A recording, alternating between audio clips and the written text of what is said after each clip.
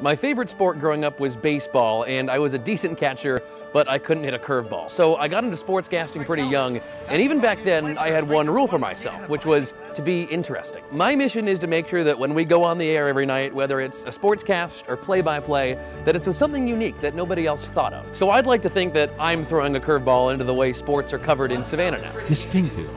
One more reason to watch Greg Talbott, weeknights with sports, only on WSAV.